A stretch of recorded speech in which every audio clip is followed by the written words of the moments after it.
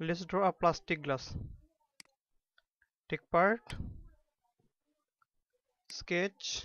Sketch again. Select top plane. Take a line. Another line. Another line. Another line. Take a smart dimension let's take the height. 4 inch.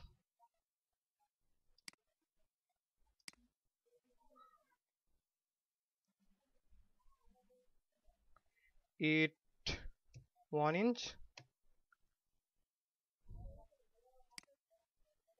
It 1.5 inch. It is the lower diameter it is a high diameter go to feature. Select select triple base or boss select this line. Okay. We got the shape of a glass.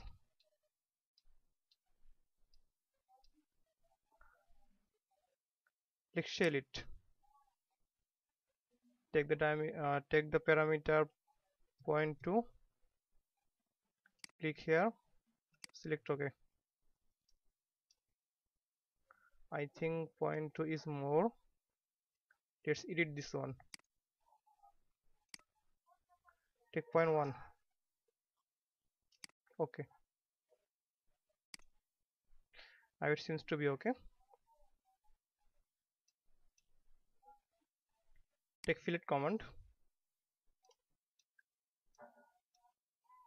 Let's fillet this one. Click here.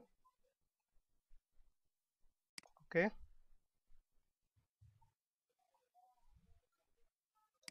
edit fillet this one. Click here. Yes. We can see a circular shape here. Let's fillet the upper portion. Click select. Make it 0.05 click inside and outside both? Click ok